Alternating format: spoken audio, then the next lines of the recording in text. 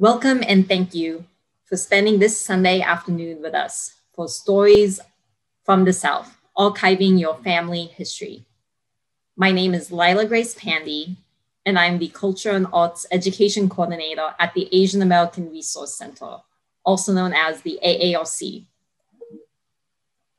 For those who are new and maybe this is your first AARC event, welcome. We are a community founded cultural center with the city of Austin, and we are part of the Park and Recreations Museum and Cultural Programs Division. Since opening in 2013, we have served the local community by providing enriching programs and events, such as our senior meals and meals and wellness program, supporting local artists and creatives through our exhibits program, hosting large scale events and festivals, and also our education program for youths and adults. Currently, our site is closed to the public due to COVID-19, but we are continuing to create community online through events and programs such as this one today. To stay up to date on our events and programs, please follow us on Instagram and Facebook and sign up for our bi-weekly newsletter. I'll be dropping a few useful links in the chat as well. Today, you will spend the first half of our event with a talk featuring both local and national voices on history and archiving, followed by a workshop led by the Austin History Center. We encourage all of you to participate today. Please note that our Zoom is not in a webinar format. Please stay muted, but we encourage you to engage with us via chat. There will be moments throughout this event for Q&A. As you may have noticed, this event is currently being recorded. We will share the recording of this event and any resources shared by the participants in a follow-up email to all registrants. And without further ado, I would like to introduce Ayshea Khan of the Austin History Center. Anna Shah and the whole AARC programming team for their support in putting together this event. And of course, to all of our incredible panelists who are lending their expertise and time this afternoon. I stumbled into the field of archiving out of frustration when I struggled to see biracial South Asian families like mine reflected in our country's archives and histories. So, discovering and delving into the work of our panelists has been inspiring and healing for me, both personally and as a community archivist. So, I feel so lucky to have you all in the same virtual space. As Lila Grace mentioned, I'm the Asian Pacific American Community Archivist at the Austin History Center, uh, which is the historic division of the Austin Public Library and the official archive for the city of Austin. Since 2000, our Community Archives program has been working collaboratively and alongside Black, Latinx, and Asian Pacific Islander community members to collect, preserve, provide access to, and advocate for our histories from communities of color in Austin.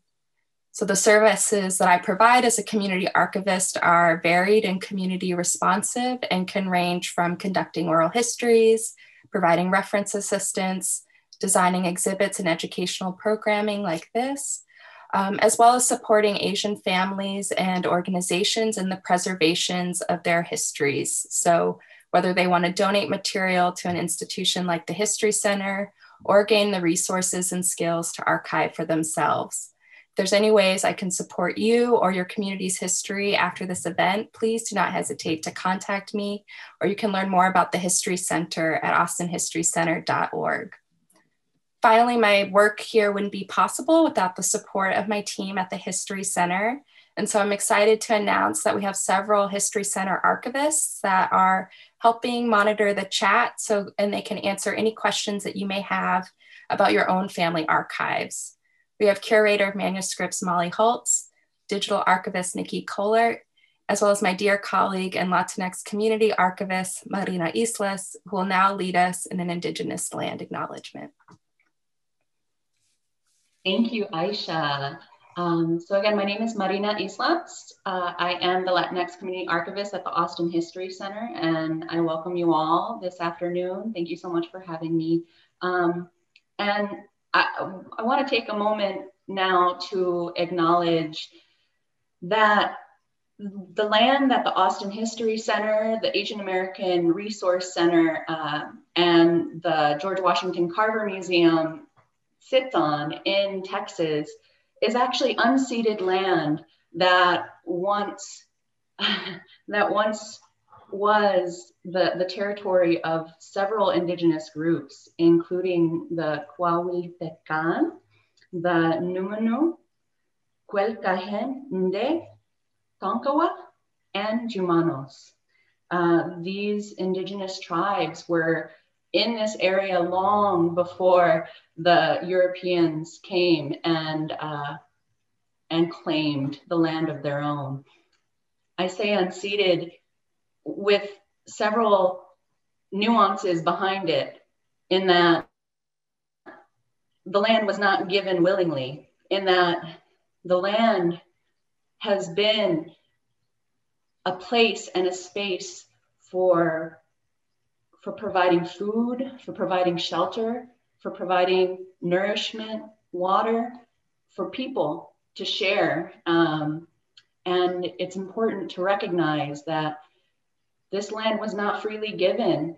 And, and the fact that it is not meant to be owned, but again, shared. These indigenous tribes were here sharing the resources, the bounty uh, that this earth provides. I also want to acknowledge the locations of some of our uh, panelists today. And I'm, i apologize because I didn't uh, get everyone's location, but Samip in Philadelphia is on unceded land for the Lenni Lenape, and Tiffany in New York City uh, is on unceded land for the Munsee Lenape, as well as several other tribes whose I don't have time to, to list, but I encourage everyone, uh, wherever you're at right now, to take a moment. I'm putting in the chat uh, nativeland.ca, which is a map uh, that y'all can access and learn about the indigenous tribes that were once in the areas that you currently live. And I encourage you to spend time learning about these tribes and and if you can, try to support the people who are still moving forward and, and trying to preserve these cultures and these traditions. Here in Austin, we have a Lipan Mescalero medicine woman by the name of Marika Alvarado, who's uh, running the Of the Earth Institute uh, of Indigenous Cultures and Teachings. And uh, I highly recommend you, you check out her website. And she is currently partnering with Will Wilson, an artist, Dene artist, who uh, is featured at an exhibition at UT Austin right now in their Visual Arts Center. And they are preserving medicinal plants as well as highlighting the, the toxins and the way that pollution has affected indigenous tribes in the Southwest. So please take time and educate yourselves about the land that you're living on. And I do request that our ancestors who are around us today take heed and hear the work of our panelists, the words that they have to share with us, the wisdom they have to share with us, and to guide us and, and help us through today. So thank you very much. Thank you, Marina.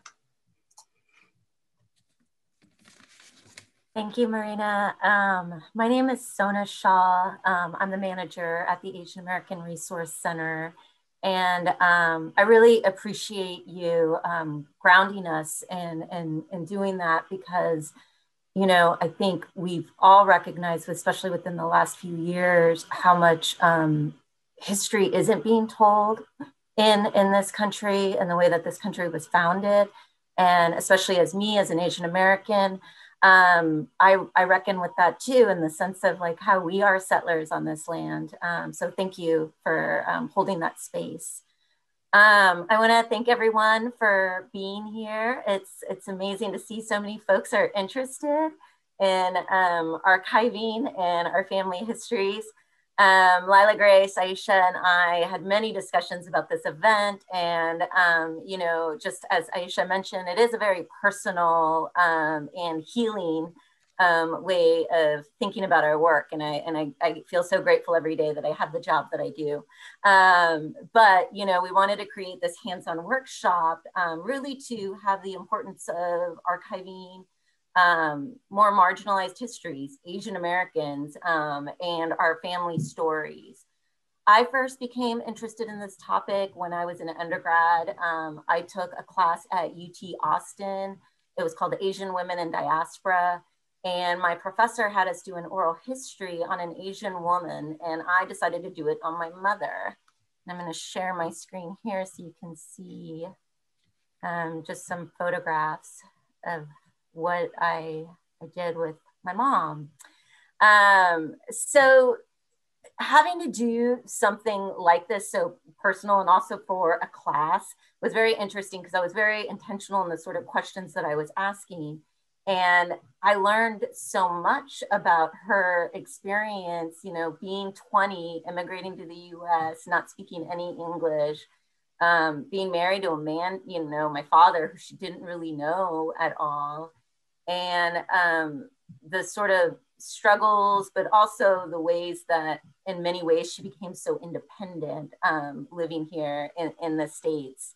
And so this is just a photo of me and my mom in Mexico City. And that was another really interesting thing because my parents traveled a lot when we were younger and took us to places that, um, you know, I was surprised that they they took us to all these places. Um, and then that's my mom and me in Houston, where I was born and raised. And then this is when we were a bit older. Um, but the the experience of doing that and talking um, having that that um, just just having that moment and being able to ask those questions with my mother i don't think she would have ever just told me these things on her own and so um, this experience um, i ended up doing other um, recordings of oral histories i did one with my maternal grandfather in india and then also a family friend who had to leave Uganda in 1972 due to Idi Amin's expulsion of Asians from that country. And so this was all this history that I had never really known or got to learn through um, my own education and um, even being a college graduate and everything that um, I, I got that from you know these family stories um, so being intentional with these recordings and documenting these stories, I learned so much about my Asian, my Indian, my Gujarati um, background in the diaspora. And so the panelists, who I'm really excited that we have here today, represent a variety of entities and ways to think about um, archiving our family stories. So we have um, Samip Mallick with the South Asian American Digital Archive, an organization that has helped me understand the importance of my family stories in the US as a um, South Asian American. And also, you know, they provide excellent prompts for us to think about what things to record as well. Um, we have Sam Vong, a curator at the Smithsonian's National Museum of American History in Washington, DC. Um, our federal government institution that is researching and collecting American experiences um, Tiffany Diane Tso, representing the Asian American Feminist Collective, a group that has produced some remarkable zines. You should definitely check those out online. And they create spaces for political education and identity exploration.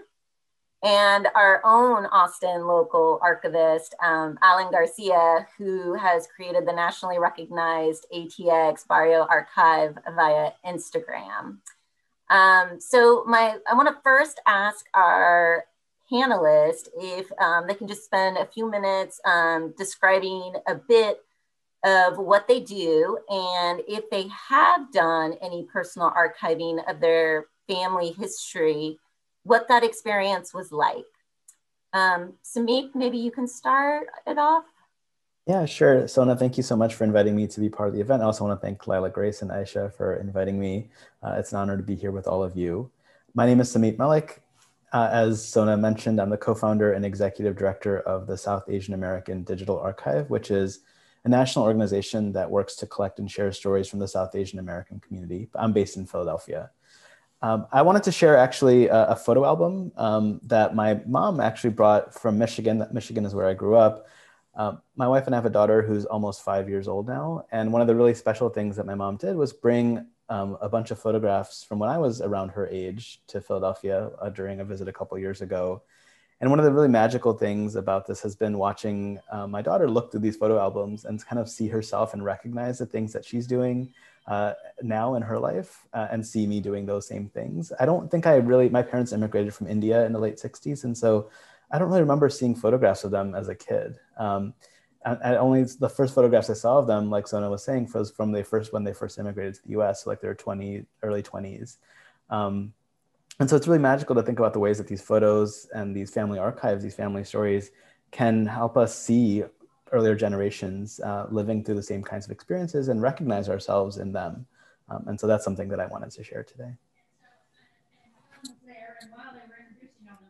Thank you, Sami. Um, and anyone can go next out of, out of our panelists wants to share.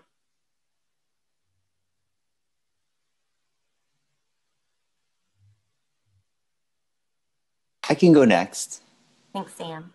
Good afternoon, everyone. Greetings from Washington, D.C., where we're getting some really beautiful snowfall today.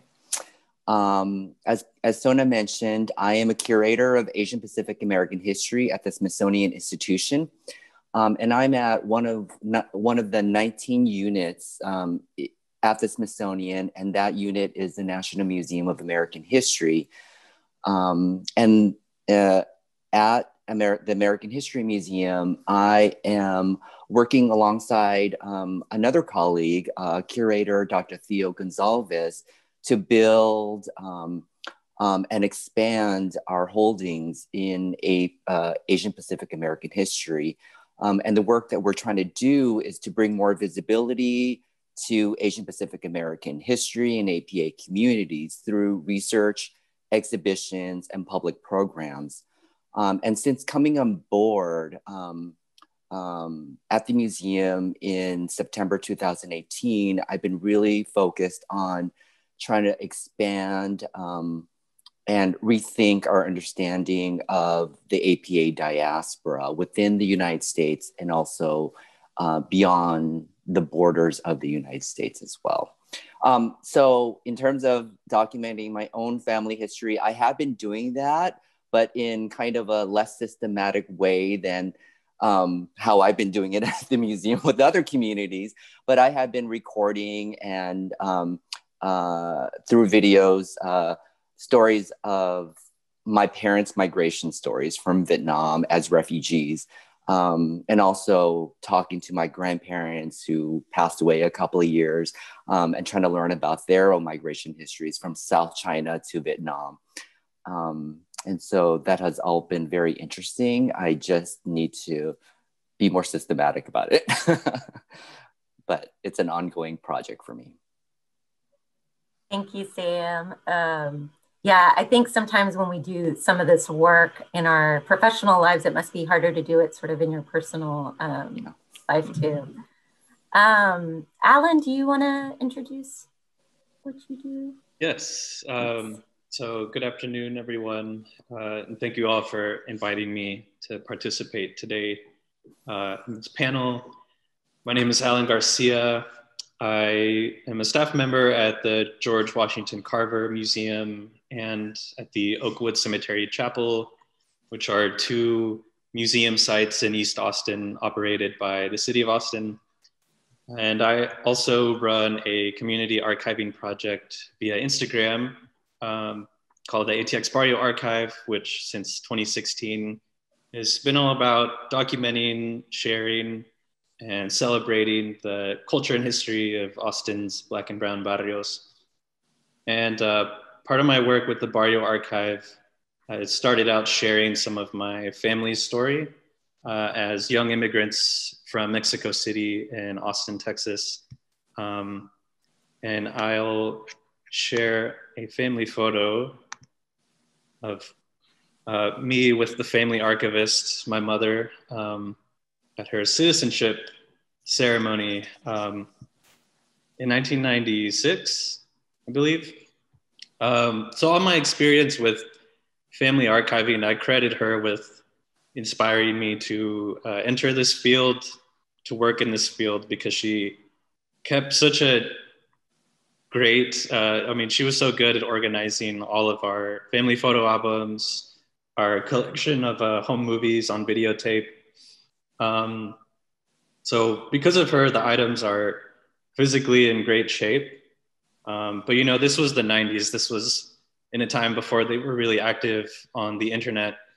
So uh, going forward, part of my work has been sitting down with her, with my dad, to just start sharing it digitally uh, which some parts has been easy, some parts hasn't.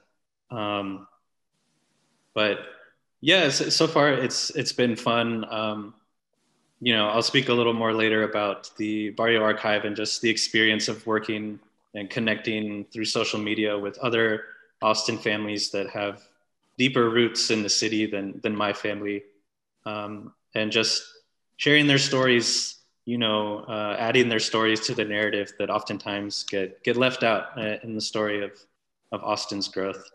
But uh, I really uh, cherish this photo. Um, you know, like we say, we've saved everything. Obviously, her documents, uh, her citizenship documents, but this little flag I'm waving, I grew up with that flag being around my house, and I never really knew what um, the significance of it was I think that was the only American flag we had in our home. But um, going through photos later, I put it together with my mom. Oh, that was from that ceremony that they were given uh, when they were, you know, granted citizenship. So just wanted to share this little little piece of uh, joy from the family archive.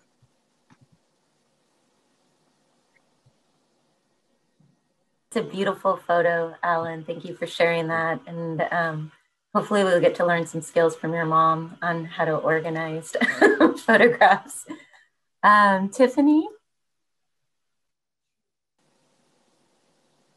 Yes, hi. Um, I have um, a photo I guess I'm going to share as well, but just to give a brief intro, um, again, I'm Tiffany. My pronouns are she, her. Um, I'm a co founder and co leader of the Asian American Feminist Collective. Um, we came together um, in 2017 um, after the um, 2016 election and the Women's March. Um, just, you know, feeling once again like women of color were being marginalized in uh, mainstream feminist movements. So, and we, like Sona mentioned before, we organize and uh, we present opportunities for identity exploration and political education, uh, mostly in New York, but since the pandemic, um, very much, you know, internationally or nationally um, online. Um, and yeah, I feel like it's just been really important as a collective and as Asian American fe feminists to really like engage in our histories um, and think about how we as Asian American feminists can locate ourselves in the archives um, or just as like a continuation of a lineage of feminists like us, um, since we know that we aren't the first ones to do what we're doing right now. We're not the first people who have been like, we're Asian American feminists. Um, and so, you know, a lot of the work that we do um, can sometimes, you know, I, I, can get into it later, but can highlight history um, and, you know, talk about it, um, family and um, and yeah, anyway, so I'm gonna share my photo, um, which is um, a family photo from Taiwan of my mom, and these are all of her siblings. Um, she comes from a very big family. Um, and I just, um, and you know, my family is sort of in this like long ongoing slow process of, um, of archiving our, you know, our family, or, you know, of kind of like digitizing and you know just organizing our family archives i guess because they exist whether or not we like touch them or not obviously.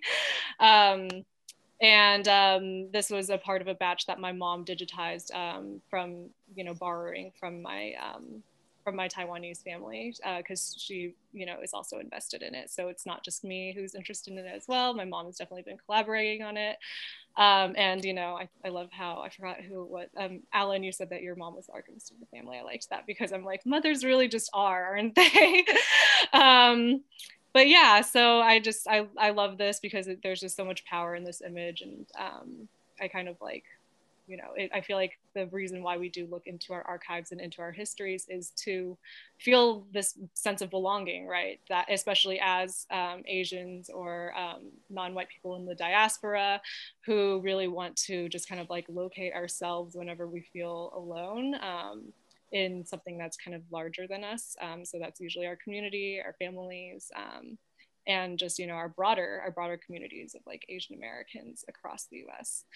Um, so I will stop sharing that um, and pass it on to whatever is next.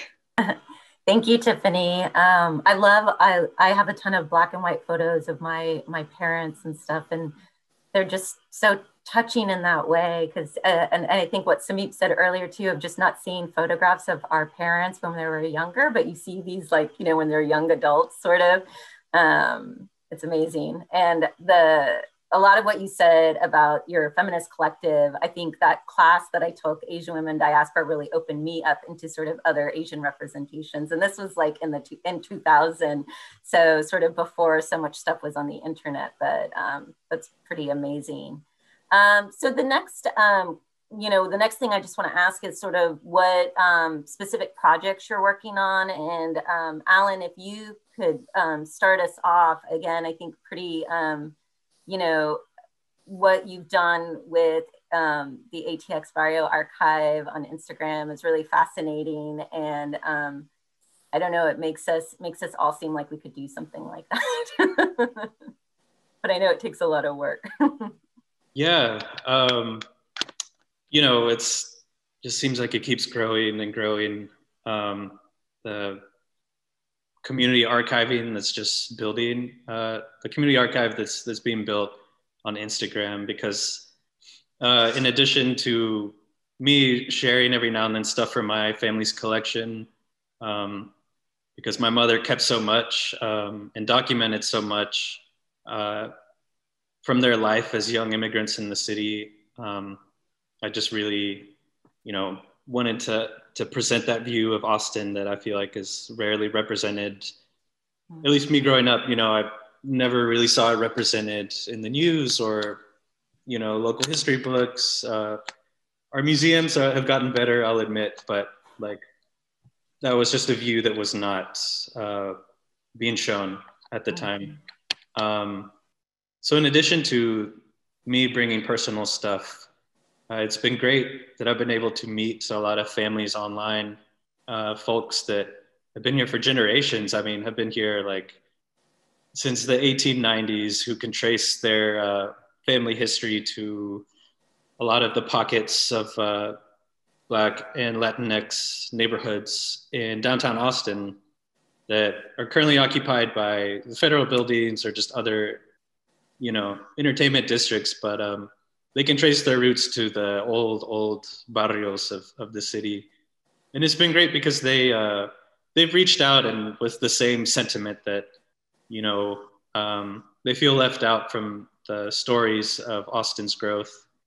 And um, another part of it so in addition to receiving submissions from uh, from families in austin i do a lot of archival research and you know, uh, institutional repositories, either on campus or with the city. And uh, I just enjoy searching for those little slices of, of life, you know, from these communities that it may be an advertisement for a business or it may be just photos of from a newspaper of children playing basketball uh, at an East Austin park. Um, and it's been great to experience people online reconnecting with family history from these archives that they never knew existed. Um, so I get comments a lot from people who request, you know, personal copies of some of these scans because they never knew that their grandfather's photograph was uh, preserved, you know, uh, at UT Austin in one of their archives. Um, and they do a great job of immediately uh, identifying people in these photos, um, whether it's like an album cover of a, a gospel group or a Tejano band. Uh, it's, it's just great to see that, you know, a lot of these, these uh, family members, descendants are, are still here, you know, that we could still connect with them. Um, and for the folks that, you know, have been displaced and have moved away, uh, I think we're all aware that there's been a lot of displacement uh, going on in Austin. So a lot of times people aren't living in these communities anymore. Uh, they're out of state or they're just farther north, you know, uh, on the edges of the city. But um, yeah, it's just wonderful to to reconnect with them um, and share that family history. So it, it just keeps growing. The you know the people reach out wanting to to participate. So um, I'll, I'll have a little more gems to, to share later in, in the workshop with Ayshea. And someone asked in the um, chat here, do you back up the Instagram photos and or archive them off- offline? Um, just like in my hard drives, really, you know, I've been wanting to explore that more with folks. It's just the best way. Um, cause yeah, it's a mix, you know, of things that I scan, um, photos that people send me. Really, before the pandemic, I was trying to reach out to folks and just do in person meetups to get a better quality scan of their photos rather than just like iPhone sharing. Um, so it is, you know, um, but it can be better. I'll admit, you know, that's something that I need to work with other archive colleagues um, to, to figure something out. Thank you. Um, and I think your comment about just the, the sort of um, rapid sort of displacement of people that were, you know, especially we see in Austin and many of these other cities. I'm from Houston. And so um, being able to document those stories and how people can connect to that place of where they grew up, because all of that's going away. so many ways. Mm-hmm. Thank you. Mm-hmm. Um, Samip, you you go next? Yeah, Talk about a specific projects or things that you're, you're working on.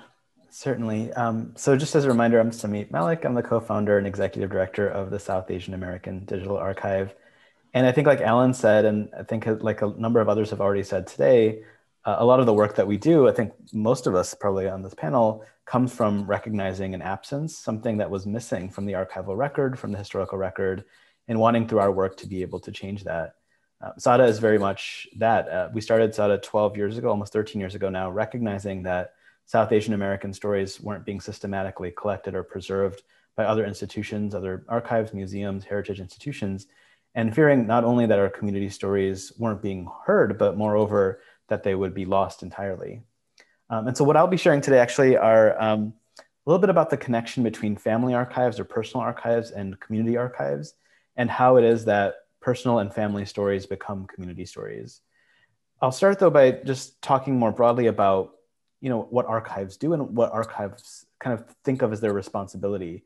Um, you know, as individuals, probably what brought us all here today is thinking about our own personal archives or family archives, photographs, birthday cards, letters, objects that are meaningful to us and that we've held on to because we recognize that they have enduring value to our lives. These are objects that help us understand a particular moment in our lives or a loved one or help us explain something about ourselves to someone else, um, like I was sharing with our, our photo album um, and my daughter, or help us remember a particular moment in our own lives.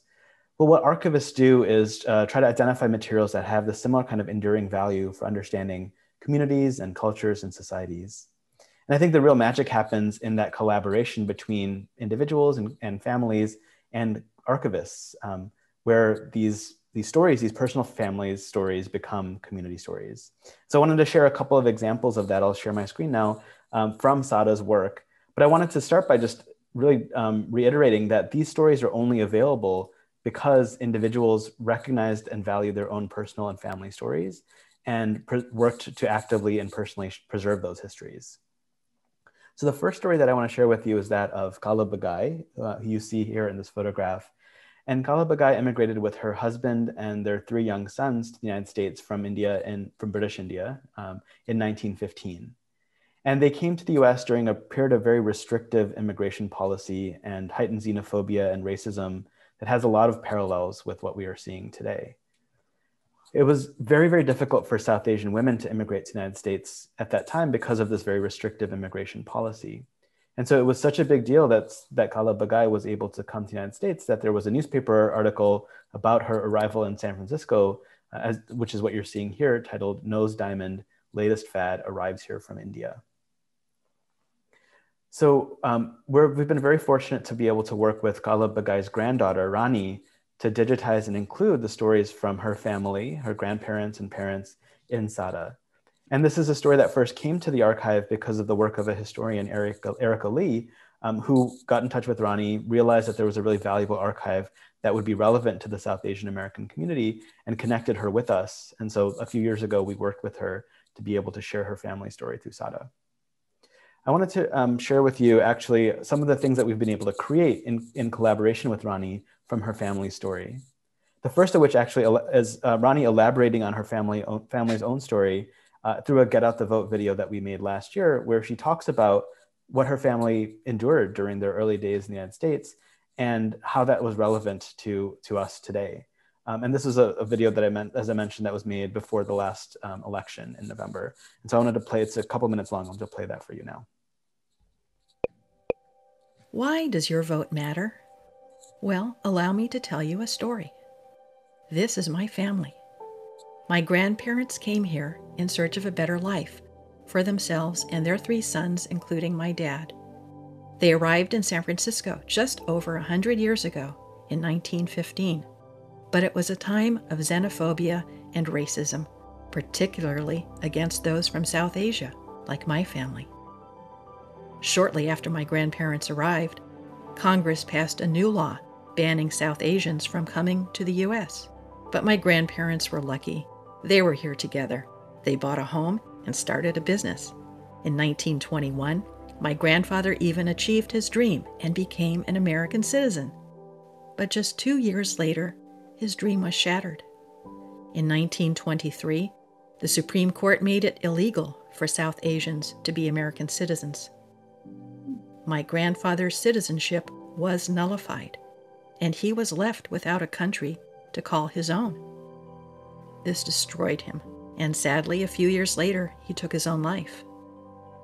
In a letter he left behind, he wrote, I came to America thinking, dreaming, and hoping to make this land my home.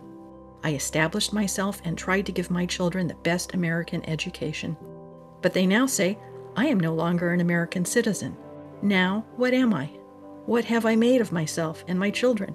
We cannot exercise our rights. Is life worth living in a gilded cage? It was more than 20 years later before the laws were changed, and South Asians, including my dad and my grandmother, could finally apply for American citizenship. This is why voting matters. I hope my family's story is a reminder of what we've endured to get the rights we have now, how easily they can be taken away, and how hard it is to win them back. If you haven't yet, please register to vote right now. And please, please vote in November. I wanted to share this story in particular because, um, you know, almost all of the materials that you saw in the video were materials that Rani has held on to that she inherited from her grandparents and from her father, and that she's taken care of in her own home archive for many, many years until we connected with her and were able to make them available online. And those materials, I think, in, in very tangible ways are changing the world um, you know, not only was that Get Out the Vote videos viewed almost 100,000 times, but actually recently, community organizers and activists in Berkeley um, were able to use materials from the archive to make the case for the renaming of a street in downtown Berkeley in honor of Kala Bagai. And actually, um, just in a week or a week and a half, um, will there will be a dedication ceremony um, to rename uh, Kala Bagai Way in downtown Berkeley. This is a banner that was just put up a couple days ago uh, in honor of Kala Bagai's memory. And, and, you can see this is how it is in the archive, and this is it, how it is on the streets. Um, and so in very tangible ways, these family archives are changing the way that people will see the world. And if you'd like, um, the it's obviously online because of the pandemic, but the dedication ceremony will be on Thursday, February 11th. And so it's open to anyone. We're having a parallel watch party. Um, so if you got to go to saada.org slash Kala Way, you can join us um, for that event.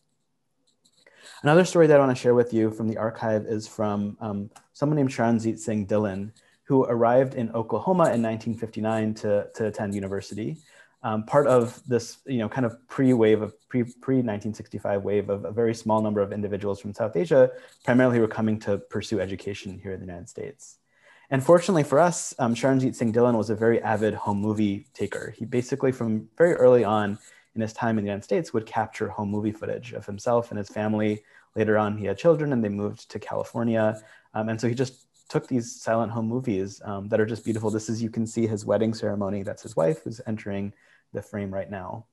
So once again, you know, thinking about how these, how we bring these stories and these archival materials to life, a couple years ago, we worked with a young um, South Asian American musician, Zain Alam, who created a uh, soundtrack to these home movies. Zain grew up in Georgia outside of Atlanta, and he really connected with these home movies in the archive for a couple reasons. One was because um, it's so rare, of course, to see home movie footage of South Asians in Oklahoma from the 1950s.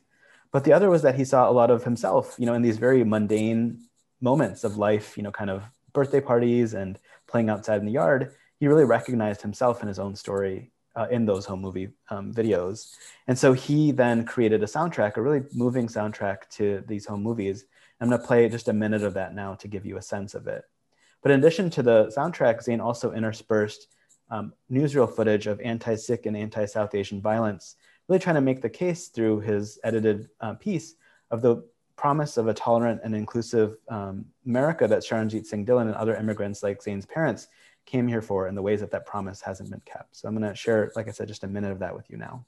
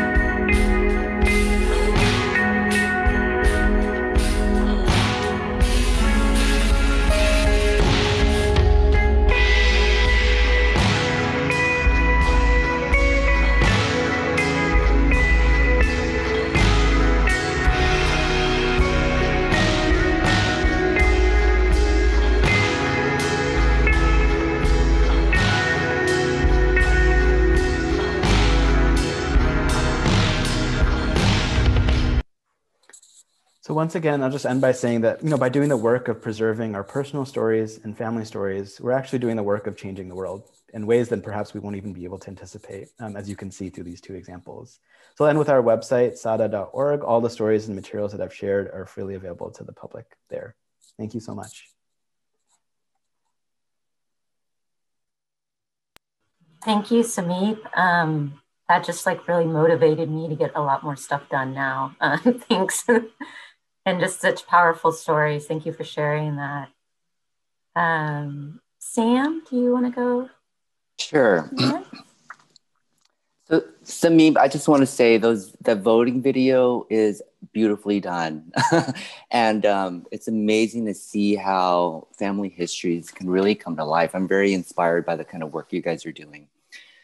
Um, so, I just want to talk about um, what one one project in particular that I've been working on um, that focuses on um, really rethinking Asian migration um, and APA diaspora from the lens of thinking about the Americas and not just the United States.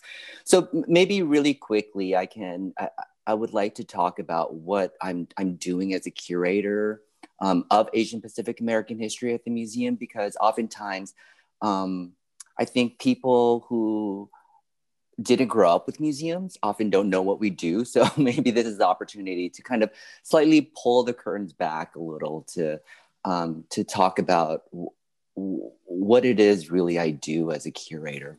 Um, so one of the many things I do as a curator is try to build um, our our collections and specifically my focus on is on Asia Pacific American collection, uh, the APA um, uh, collection.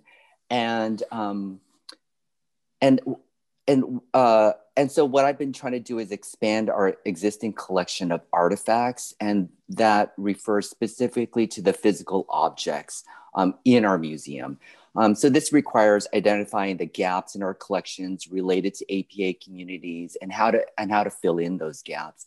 And in my view, I think collecting objects and building a rich collection of both archival materials and three-dimensional artifacts is foundational to the museum's work um, because it's really kind of these physical objects that determine the kinds of exhibitions that we can create, um, uh, that, the exhibitions and public programs that we can create at the museum, um, as well as the kind of stories that we can tell.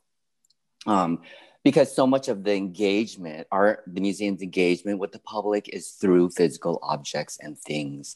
Um, and because we're a brick and mortar museum, there's there's there's a, a really a great emphasis on exhibiting America's past through material culture. So in this context, one of my goals as a curator of APA history has been to expand both the temporal and geographical scope um, of the histories of APA di- diaspora, diaspora beyond the borders of the United States. Um, and maybe the the word beyond is a little too abstract uh, because in many ways we're always engaging with borders uh, with borders whether we're talking about it within across through borders um, and so um, uh, what I've been trying to do um, is, is collect materials of Asian Asian communities um, in Latin America. Now, Asian immigrant migration and circulation of goods from Asia um, has a long history dating back as far as the 16th century, right, with the, be- the beginning of the Manila galleon trade. Um, and I won't be able to delve into kind of that history in such a brief amount of time here, given, given the amount of time uh, I'm allotted. But there's a significant and vibrant history of Asian communities across uh, Latin America since the 16th century, um, but especially beginning in the 19th century. And these histories have been very well documented and written about by historians and other academics. And what I've been trying to do um, is to try to find ways to invite various audiences to engage in this innovative important scholarship and I've been doing this by collecting objects that I think are telling compelling stories about migration, community formation, everyday life. Um, and I've been doing this through family histories. So back in 2019, um, I worked, uh, I collaborated on um, an exhibit um, that was commemorating the 105th uh, uh, 150th anniversary of the building of the Transcontinental Railroad. And one of the event um, participants um, connected me, wh- whose father was actually an ancestor who helped to build the railroad um, of Chinese descent, had connected me to um, other Chinese descendants, uh, other Chinese uh, community members who had descendants uh, who settled uh, before the 1950s and in the 19th century. And they connected me to um, two brothers um, whose father, um, named Edwin Lin, had served in World War II. And at this time, I originally was really interested in not only documenting Chinese descendants who worked on the railroad, but also um, Chinese Americans who, who were uh, uh, Chinese American vets during World War II. And so I contacted these two brothers, I'm going to call them the Len brothers, in summer of 2019. And we finally arranged to meet uh, sometime in August 2019. And maybe I'll pause here and ask um, and ask uh, Lila Grace to cue up the cue up the PowerPoint I've prepared. Thank you. Um, maybe we can go to the next slide. And so I was originally, thank you, Lila Grace. So I was originally interested in collecting objects of Chinese American vets during World War II, of which we, our museum has many objects. Um, and it, and this, what, what we call a look-see visit at this donor's home in New Jersey opened up an unexpected connection to a Chinese family who had immigrated to Cuba. So the slides you see here are um, uh, the big photo is of the two brothers, Victor and David Len, and I visited them in August 2019 at their home. Um, and all the kind of materials that you see are um, stuff that they collected after their father passed away. Um, uh, and so, what you see on the table are videotapes of trips to Cuba, family albums. On the upper right hand corner is a box of letters that were written. Um, their correspondence between um, the Len brothers' mother, Aurora, and the father while he was in the China, um, Burma, India theater during World War II. Um, and below that, you'll see that they've labeled this folder called Cuba Family, which um, they had discovered um, in their attic while they they were compiling all this, uh, the, while they're trying to gather all this um, uh, documents of their family. Um, and below is another big uh, uh, storage box of more materials. And really, there are about, I'd say, seven or eight of these containers of just family documents and objects that um, the brothers had gathered in their home, some of which they um, uh, some of which they had been organizing for many years. And it's just amazing how um, well documented they uh, uh, well documented their family history was. So the connection was that um, so, so let, let me um, talk a little bit about the connection between um, this Chinese American family in Cuba to the United States. So the connection was that Edwin Len, who is the subject of, of most of these materials, he, his family immigrated from China to the United States, and he married a Chinese woman named Aurora Alay, who was born and raised in Cuba. Her father, Felipe Tanale, immigrated from southern China to Havana, Cuba, sometime in the 1910s. And Aurora Lay was born in 1922, and she would later leave Havana for school um, to the United States in the late 1930s to Ada, Ohio. And there she met Edwin Lin. Um, they had a beautiful and lengthy courtship, and they finally married in 1944. Um, so, uh, Lila Grace, can we, we go to the next slide here? So, what you see here um, are some photos I took of the objects during my, my look-see visit. And we call it look-see visit because it's an opportunity for curators to travel out to either communities or people's homes or um, sites to see if um, there are historical artifacts there, uh, that we, we would consider uh, collecting and accessioning into um, the museum's collections. And so this, of course, um, look-see visit like uh, uh, yielded these amazing objects that, that we ended up accessioning in our archive center. So what you see, um, I'm sorry, it's very small here, but what you see are photo uh, these are family photo albums um, that Aurora Lay, the mother, had stored um, and saved. And these uh, photographs all document um, her growing up um, in Havana, Cuba. And, so, and they also include photographs of um, uh, of the restaurants that they opened and other businesses that they began in Havana, Cuba, as well as uh, photographs of members of other Chinese, uh, uh, uh of, of, families uh, within the Chinese community in Havana, Cuba.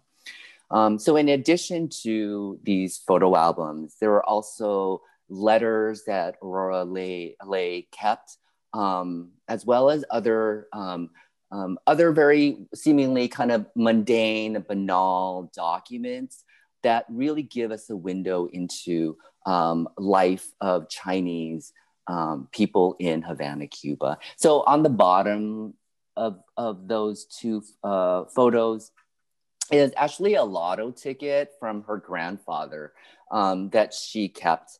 Um, and so her grandfather was really into um, uh, the lotto, and it was, uh, in many ways, the way the Lin brothers described it is that it's kind of a national pastime and people engaged in it.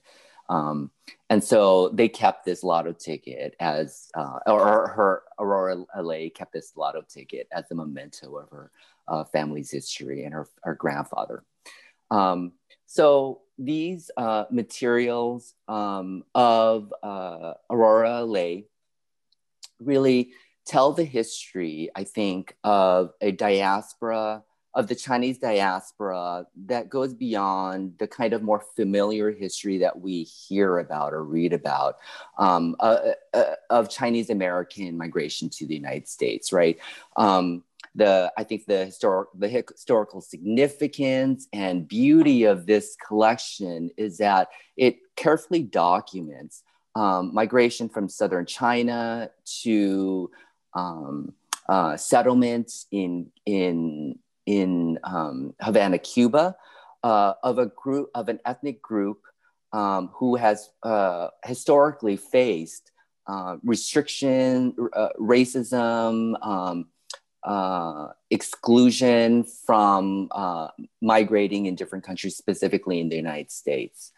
Um, this, uh, these photographs also document um, Aurora Lay's migration to the United States, where another chapter of her story um, begins.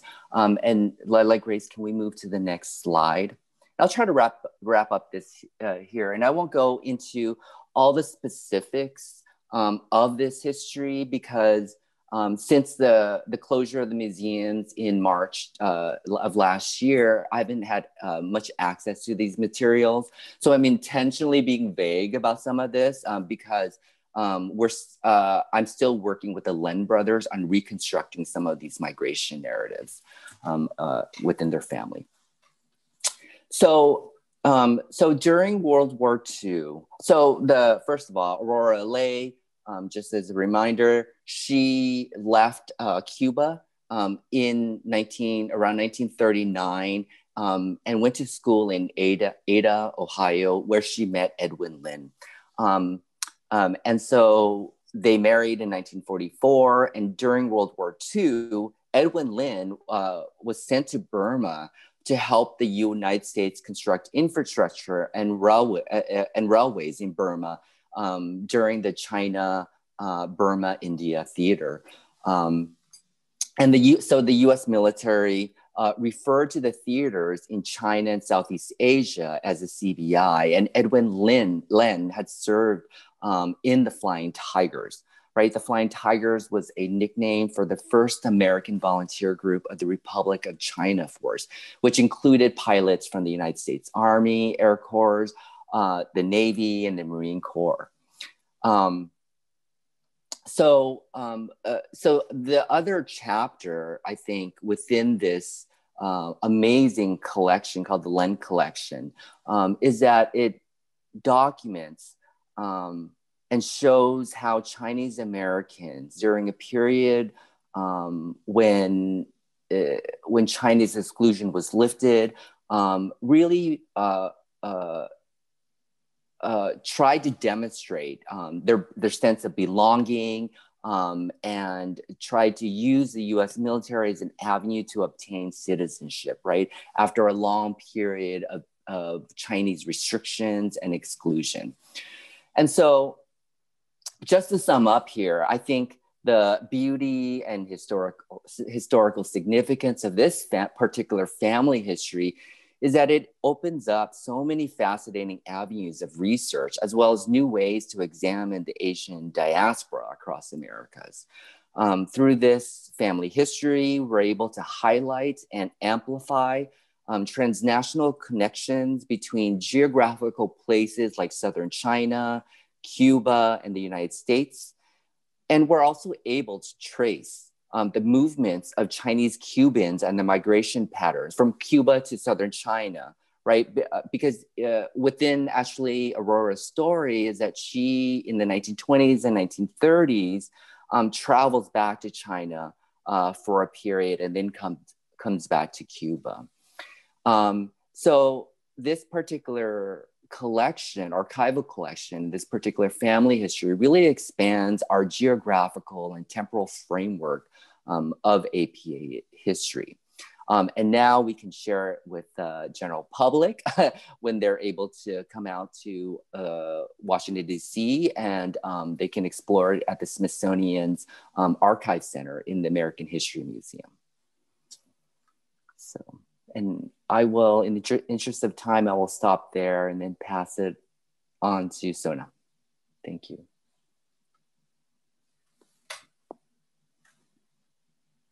You're muted. Thank you, Sam. Um, I was going to say um, you should read the comments or the chat feed because it seems oh. like everyone really appreciated just this migration his history and just what you said about, you know, we we we don't see all of these um, routes that sort of people are going and living and then you know coming and settling here in the United States. Yes. Um, I also just want to make it known, you know, with the Smithsonian um, it, it, being kind of symbolic that you have this role, right, um, in in our government. And I, I, think about this with the Asian American Resource Center being a City of Austin facility to as well. Just this kind of inclusive, diverse America, right, that um, yes. we are trying to highlight in these histories. So thank you, yes. thank you again. I'm I'm so happy you're here. Um, and I know we, we don't have so much time left because I know Alan and Ayshea are going to be doing a workshop, but our last um, speaker is Tiffany. And if you have any questions for any of our panelists, feel free to just um, put them in the, in the chat. And so Tiffany. Yeah, hi. Um, I'm going to try to go quickly, but um, yeah, I'm really thankful for uh, spaces like this, I think, and I think everyone who RSVP'd is also really thankful for a space like this um, to discuss our histories in the archives um, because we have so often seen ourselves erased from or excluded from them. Um, I know that I, for one, I didn't mention it before, um, grew up in Texas and um, I lived in Austin as well before I moved here to New York. Um, but I, I know that, you know, we learned like a little bit about maybe like the um, Chinese who built the railroad, but other than that, there wasn't much. And I was really grateful as well for the few Asian American studies classes that I was able to take at UT um, that were really what opened me up to um, Asian American like feminist writers um, like Helen Zia and um, Maxine Hong Kingston and uh, Jessica Hagedorn. and I feel like I um, I feel like it isn't fair though, right, for people who have access um, to higher education, right, or access to institutions to be the only ones who get to have access to those archives. And so I think I'm really grateful um, for folks on this panel like Alan who make it um, accessible right to the public who bring uh, the archives into these like cultural spaces that people are actually occupying um, because you know most of us aren't right like physically in the archives or um, allowed to right or like part of an institution or an academy who um, that has archives um, so yeah, just to talk a little bit about some of the projects that um, AAFC engages in anyway. Um, with um, history and the archives. Hold on, let's see. I'm just gonna share a screen. All right. Um, yeah, so um, some of the projects that we do across social media um, are, you know, meant to also engage in history and family archives specifically. Um, for example, we do a series on Instagram with the hashtag This is Asian America, where we invite um, community members to send us um, photos from their own family archives and stories to share. Uh, on that platform. And, you know, we found that a lot of people really were just so engaging in this because um, it you know gave us an opportunity to share these right space where um, we kind of just like collect them on our own and don't have much of a space to talk about them. Um, so I think that's another, you know, that's why we're all here, right? We're all here because we think that our um, our stories are important to tell. Um, and so we've done that. Let's see if I can Oh, um, so we've done that on Instagram. This is one of my co-leaders' um, stories about her uh, parents um, who are Indian, um, but Christian, you know, so that was like a different narrative than we're used to hearing um, here in the States anyway. Um, and then, uh, but then, you know, of course, uh, I also want to point out that, you know, Instagram is also not accessible to all, unfortunately, those without internet or access to technology um, uh, so we also you know find it important to sometimes you know come out with some like tangible uh, you know free accessible products. Like this is our um, collection of zines that we've created as a collective um, mostly spearheaded by my co-leader rachel. Um, the middle one though the center one the second one that we released was how to make history where we did dig into um, you know, just kind of like family histories, um, you know, Asian American stories, like, you know, just any, like we, we just kind of like highlighted um, different community members' um, contributions, like whatever they wanted to talk about. So some people had um, more, you know, like essays, some people had um, just like family stories to tell. Anyway, um, so yeah, we're always trying to just kind of like inject that into the conversation still. Um, and Another thing that we do is workshops as a group. Um, the first time we actually ever held a digital workshop, it was at the um, very beginning of you know the COVID uh, outbreak in the U.S. and um, we were doing a uh, exhibition that I luckily got to help curate and wrote the text for at Wing Luke Museum in Seattle um, which is another awesome like Asian institution. Um, and uh, our the so the um, workshop that we did was on Asian American history and action, and it's one that we do where we bring in um, different, you know, like feminist influences that we've had in our lives. We just invite people to think about um, you know where they came into their feminism and um, who influenced it you know what were some of the role models that you had um, be it you know um, pop culture icons, right? Or um, writers and scholars, or sometimes it was family members. Uh, and so I thought it was really interesting, Sona, that you mentioned in your um, ethnic studies class, right? Um, your Asian American studies class that you presented on your mother because um, as, you know, Asians in the diaspora, a lot of times we don't have those figures, right? We weren't like paraded with figure eh, with, you know, other Asian American feminist leaders constantly because that wasn't the representation that we had as like a small minority minority. Um, and so in this workshop, though, I uh, typically present on Helen Zia, who you know I was lucky to learn about at my in my ethnic studies class. Um, but you know another person that i also like to add to it whenever i give this workshop alone is my mom um, because you know i do have her to thank for um, you know obviously where i am today just being here um, as like an unapologetic um, asian american feminist um, being able to like present this to all of you you know i have her to thank she's been like formidable obviously and um, forming who I am today. Uh, so I find it really important to um, pay her homage homage um, and yeah so in that workshop though you know we invite people to like think about the people who have shaped their political identities um, and how these figures have like inspired them to take action and um, a lot of times other people also presented on family members of theirs because they um, you know similarly didn't have asian american feminist figures in their lives growing up um, besides their family.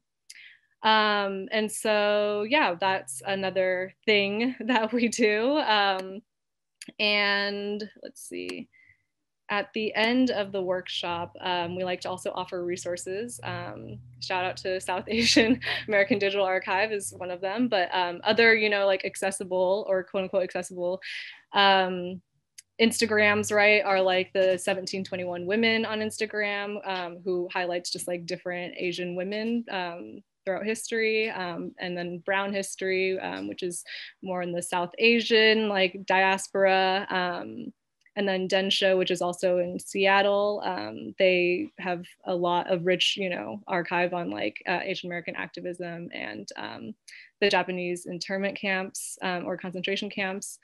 Um, and then also uh, different Asian American timeline. Um, AAtimeline.com is a really cool resource um, because it just kind of goes through a, um, American history through this Asian American lens, um, which is also something that, of course, we weren't really presented with. Um, and so I find it, you know, I, I, I, think it's awesome that so many people have joined here today, and I'm sure we'll um, watch this in the rerun um, because I think that, you know, it is really important for us to continue um, inserting our stories right into uh, the like American story and how that is actually um, it's not such a clean story, right? It's it's very complicated. There's so many of us. We represent so many different identities. Um, you know, we're not just uh, the Chinese American railroad workers. We're also, you know, brown, Muslim, you know, queer, trans. Like there are just so many um, uh, untold histories and so many marginalized identities that um, don't really get the same um, the same kind of uh, you know equal I guess, yeah, whatever time, right? We don't get to like spend a lot of time learning about these. So we have to kind of take it take that um, responsibility on our own and it's and it's our job to like do it which is why um, it's important for us to keep on engaging in these spaces and um, for hopefully making them accessible too so you know thank you for making this a free um, a free workshop for people um, and for you know kind of like sharing this institution this institutional knowledge um, with the broader public. Um, and I will yield my time. Thanks so much, Tiffany. I think that's a perfect segue to Alan and Ayshea actually talking more about hands-on on, you know, how to start. So I'm going to spotlight you guys. Thank you, Sona. Um, and thank you to all the panelists. It was wonderful to learn more about your work and see all of these beautiful archival images. It was a really great framing conversation on the importance and the different ways um, our family archives can be used on different uh, different scales. So now that we're all feeling really inspired to start gathering our family archives, how do we get started?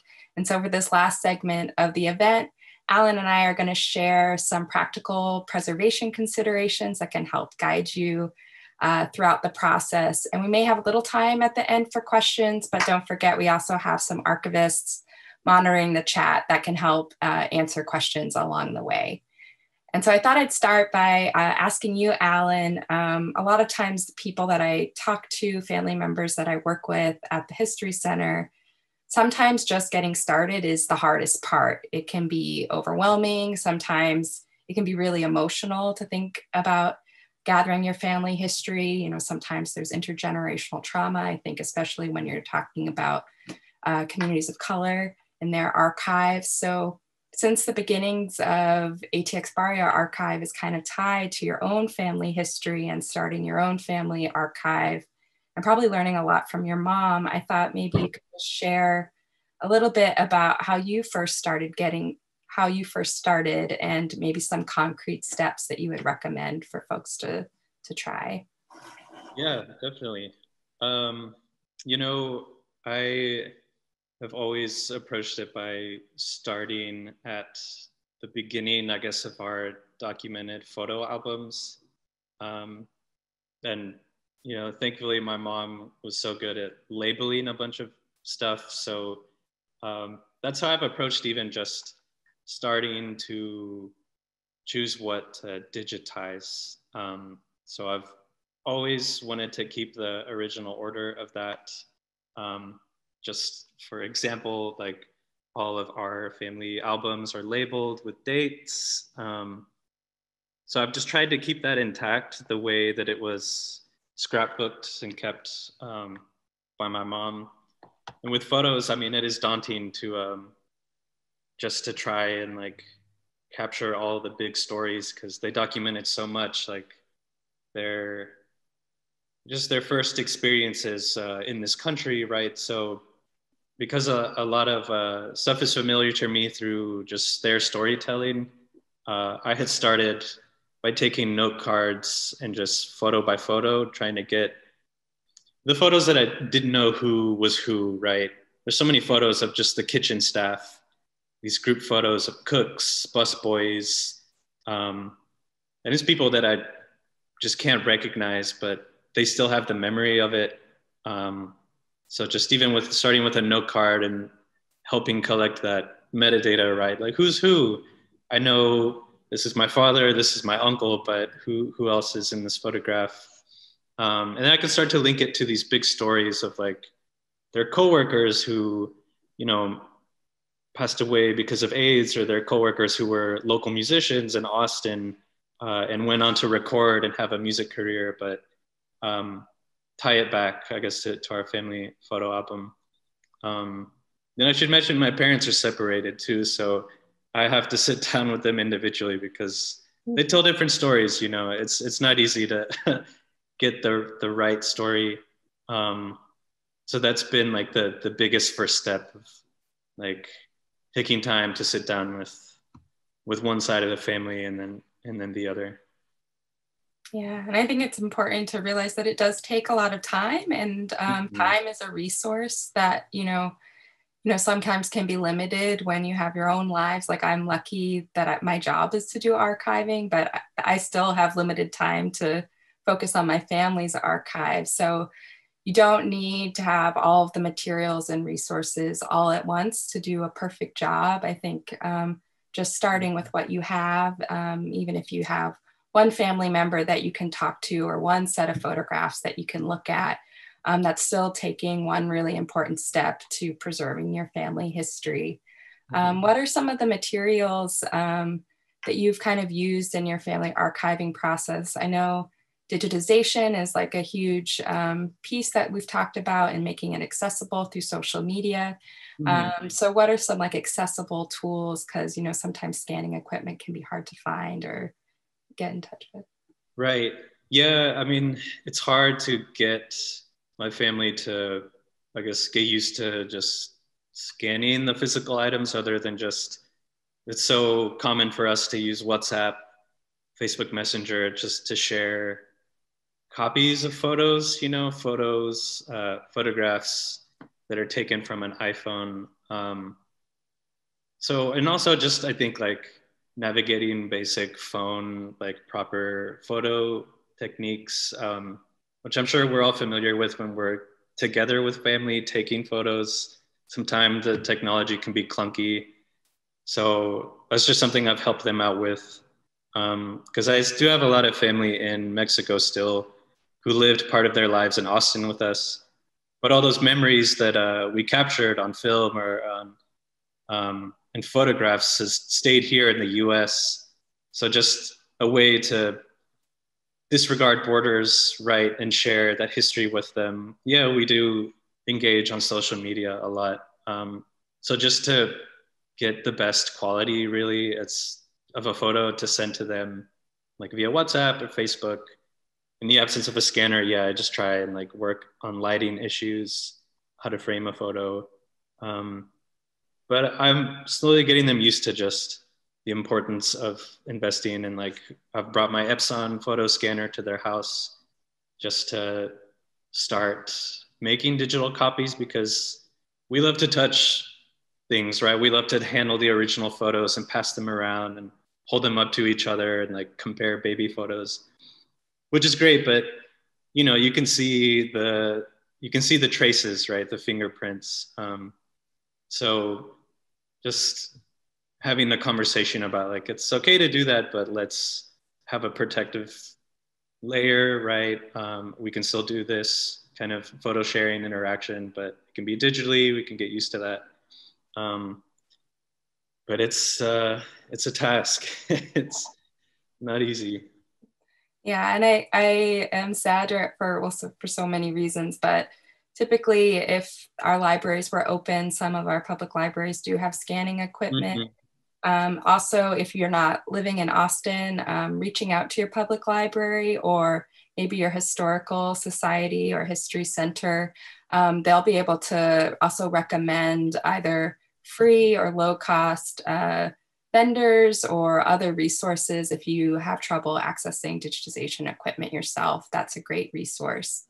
Um, and so i thought that we could end um, wrap up the workshop by each of us sharing um, just a few images from some of the family collections that we work with and um, just also giving again a couple more tips on dealing with uh, physical preservation. Um, so I'm going to share my screen really quick. Um, and so we only have we have a limited amount of time today. So um, you know we can't cover all the different types of material that might be in your family archive. Uh, the History Center does have some preserving your family history resources, so uh, worksheets on different uh, formats. So please feel free to check that out. Also, after the event, we'll be uh, sending out a more comprehensive uh, resource guide with a lot of different archival resources that can help you navigate uh, archiving your family history. let's see. Um, but I wanted to start by sharing um, just a few images from the types of items that are found in the Sing family papers held at the History Center.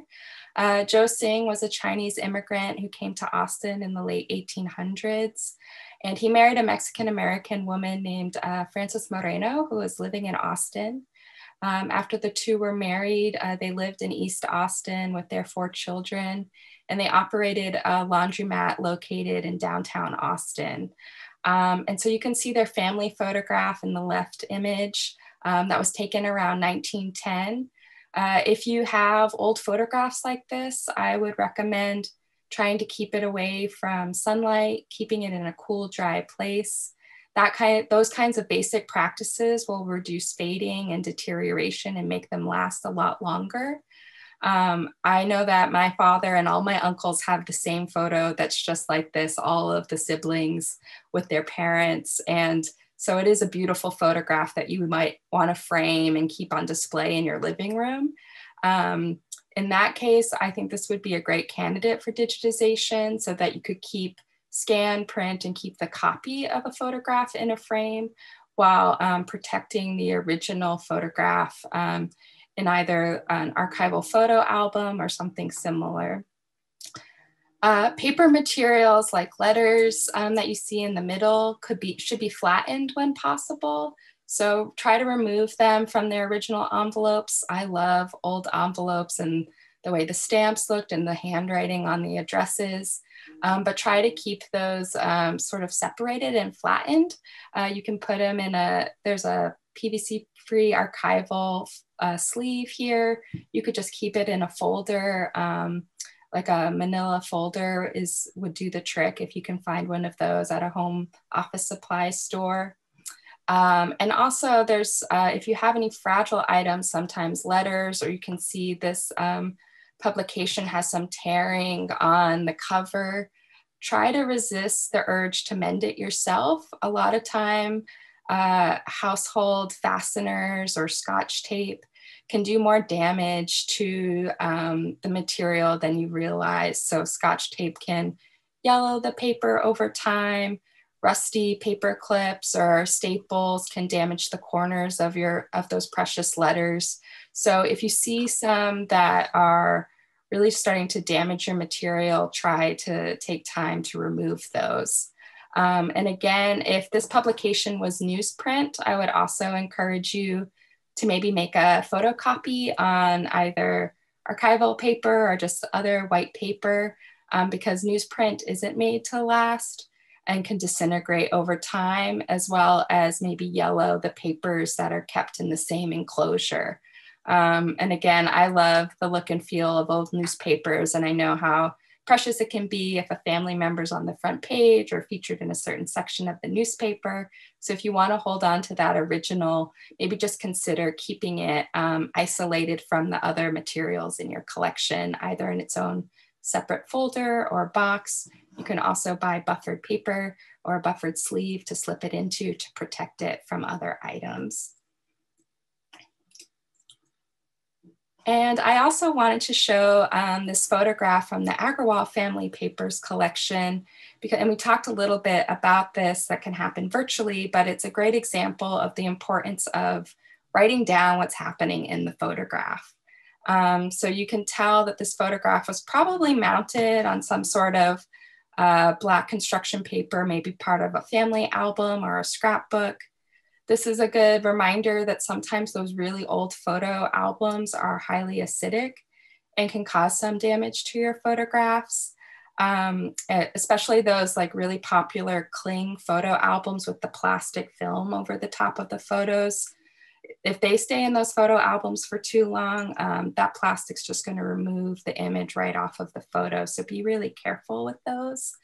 Um, and so they decided to remove it from the photo album um, and put it in an archival sleeve. And then they took a separate sheet of paper and wrote down what was happening, the location, the date, and who was in the photograph. And this information, it doesn't, when you take the photo, you know, it's hard to find the time to just jot that down right in the moment. Um, but that information can quickly get lost over time. And I think, like Alan and some others have said, um, this can be a great family activity if you've inherited a photo album but don't know everyone in the pictures. You can take a quick photo and share it through social media or through WhatsApp. You could even hold it up right now during this quarantine time, during Zoom, hold up the photo and um, see if as a family you can identify who and what's happening in the images and then write that stuff down and then uh, even generations after you will um, know what's happening in the image. And the last item that I'll just share really quickly is the Agrawal um, family collection also had a couple of rare books. So this is a, a book from 1904. Um, if you do have family albums or other, uh, or sorry, family Bibles or other bound publications that are really fragile, make sure that they're being stored upright on a bookshelf. Um, you want to try to keep all of your archival material off the floor whenever possible. You can see in this book, I see that there are signs of water damage, maybe a little molding. Um, I even see like some pest uh, pests affecting this book in the corners, kind of seem like they've been eaten away. Um, and this is all um, pretty common or can happen if you're keeping your archives on the floor or maybe in an uncontrolled environment like the garage or the basement or, or an attic. Um, it can uh, make your material a lot more susceptible um, uh, to these kinds of issues. Again, I like understand that space is a resource. Um, and so sometimes you have to keep uh, your material in like not the most ideal situation. But in that case, make sure that it's in a protected, maybe like plastic tub, something that where it's a little more protected from the environment. Um, and I'm gonna stop sharing my screen so that Alan can share a little bit more um, some images that he works with as well. Yeah, I just wanted to bring up the story of my dad, who is a notorious keeper of all things. Um, he'll save every single receipt from his visit to Walmart to Home Depot. Uh, and for a little, little over two decades now, he's been running a small business. So it just seems to be like collecting uh, every single item related to the business. So it's hard to get him to weed things and just pick what's important. Um, and one thing that was about to get thrown away from our our collection was uh, a series of receipts that were handwritten, and uh, I pulled them out because I started looking at them and I was noticing these are receipts that my father had handwritten with business uh, after business uh, transactions with a lot of restaurants and nightclubs um, in a part of Austin that is now considered a gentrified area. But I was just so fascinated by the record that this left behind of, you know, who operated a business here. Um, there's just a lot of details in these, what, you know, my parents thought were just mundane receipts with no value. Um, but there's a lot of handwritten details on there. Um, who the business owner is, what the transaction was about. I was often learning that it was because of a soccer event, you know, the World Cup, and this business was hiring my dad because they wanted to screen sports, you know, for the Latinx community that that frequented those those businesses. Um, so I've been keeping these and just, you know, slowly working with my family about what we can throw away. We don't need to keep all the big box store receipts um, but stuff that's a little more personal that can tell a story about my father's business, um, our place in the city. Uh, I've just been saving those um, and trying to be good about preserving that.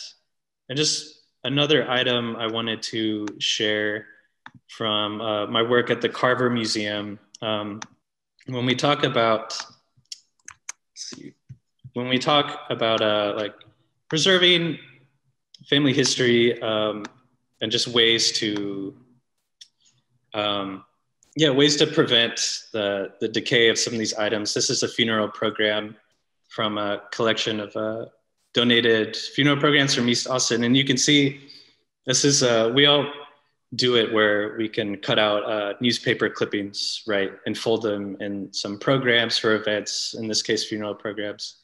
But that um, it doesn't mean we have to stop this tradition, right? This is a funeral program from the 60s, but we can safely do it. There's a way to, you know, keep this practice of folding things. Um, it's just, I, I find it so fascinating that, that we're still doing this with our collections. Uh, but like Ayshea had mentioned, we can have a buffer paper or just some protective layer around it to keep tucking away the obituary clipping from the newspaper um, and tuck it in the funeral program of a loved one, but to make sure we save uh, these documents that they don't end up in the future, you know, being unfortunately damaged like like this one uh, shows up as. So just small snippets of uh, family collections and preservation. Yeah, that's great. Um, and I think that might, I know we're running kind of short on time, um, but uh, I think it's just, uh, thank you so much for all of your questions. And um, Alan, did you want to share that last photo? Or... Oh. Photo, sure, yeah. You mean uh, the Mexican American family? Yeah. Uh, let's see. I'm trying to find it. Um, okay, let me try another way. Okay. Yeah, this is a, a photograph from the Austin History Center that's been shared before. Um, really is just um, as a you know practice in what not to do with photo preservation uh, it's from um, Mexican American subject files, but this photo just always spoke to me. Um, obviously, it's very damaged, extremely damaged with tape, thread, photos are cut out, you know, faces are cut out. Um, but it just reminded me of the personal conversations that I have had with family about their practices, you know, and preserving our, our items that um, just trying to reassure them, you know, it's it's not a sin that they used adhesive on the back of their photos. That um, it's not a terrible thing. I just this this photo makes me think of how much care was put into it at the time uh, by this family, um, and I know it's hard to separate that, you know, since we're professionals and we think a lot about the field, but I don't know, Ayshea, if this what this photo um, how this photo speaks to you and like what what it says of these communities in the past and communities of color really trying hard to hold on to their items um, the best way they could, right, with the limited means. Yeah, I, I mean, when you were telling me about this photo, it was so moving to hear you speak about it and recognizing, you know, that archives were not built with communities that look like us in mind and the practices that were developed to keep those histories safe were not created with us in mind. So you know to make a way to preserve these histories with whatever tools we had available to us i think is really powerful uh, and emotional and i think that that is also worth preserving and having these conversations within our communities first and within our family networks first of the best ways that we want to honor our ancestors, I think is really the first step and what should be prioritized. And then if you you know feel like you need to if you want to talk to an art, a professional archivist that that network is out there for you but this is really for you know preserving our own stories the ways that we want to preserve them not the ways that institutions um, predominantly white institutions tell us to. So I think to always keep uh, that in mind while we do this work is important. So thank you so much for sharing all the important work that you do, Alan, for the city. And I'm so glad that people across the country get to see um, the histories of East Austin because of your work. So thank you so much. Oh, thank you. Thank you everyone for having me. Pass it on to pass it back to Lila Grace. And thank you. I know we ran out of time, so or over time. So thank you for everyone who has stayed with us. All right. Hi, everyone. Just going to go ahead and spotlight myself. Um, thank you all for joining us. I know we're a little over time. Um, I dropped a couple of helpful links in the chat as well. Um, the AARC social media uh, biweekly newsletter where you can stay up to date on AARC programming and events and also our programming survey. As I had mentioned throughout the chat, we will share a full recording of this event uh, later this week, as well as all of the resources shared in the chat as well. Uh, later today, you will receive an email from Eventbrite that will have, again, a link to our programming survey and then also um, links to all of our panelists, the affiliated uh, programming and um, the organizations as well. Um, so thank you all again for joining us. I know we're a little over time, but um, I'm glad you spent the afternoon with us and I hope to see you at a future AARC event. Right. Thanks, all.